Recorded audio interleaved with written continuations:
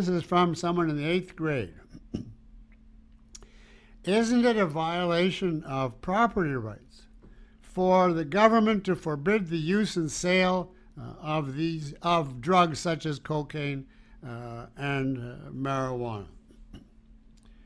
Absolutely, uh, it is a violation of property uh, rights, and the government has no business, even granted the bad effects of these drugs.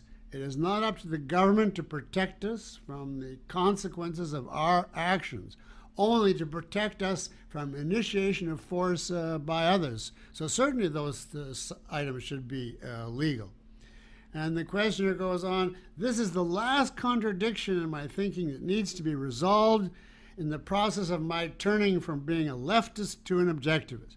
Well, I hope that uh, resolves it to your satisfaction, and welcome if it did.